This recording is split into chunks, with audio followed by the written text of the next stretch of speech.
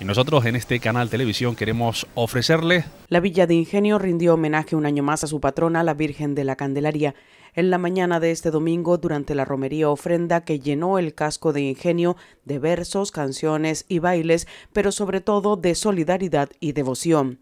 Tras la Santa Misa, el trono de la Virgen bajó al pie de la escalera de la Plaza de la Candelaria, acercándose la imagen este año como novedad más al pueblo. Con los cantos a la Virgen a cargo de Manuel Estupiñán Verona dio inicio el desfile y ofrenda de los 11 colectivos participantes y las correspondientes agrupaciones folclóricas y parrandas que los acompañaban, las cuales hicieron entrega de un gran número de alimentos que irán destinados a las familias más necesitadas del municipio. Invitarles a continuar en, estas fiestas de la Candelaria y San Blas, que sin duda son las más importantes en la, época del invierno, sobre todo para, la villa de, Ingenio. Agradecemos también todas esas ofrendas que, han ido trayendo en esta carreta, mm, además abundantes, eh, y todos, todos esos productos de la tierra que se han traído para compartir con las familias necesitadas.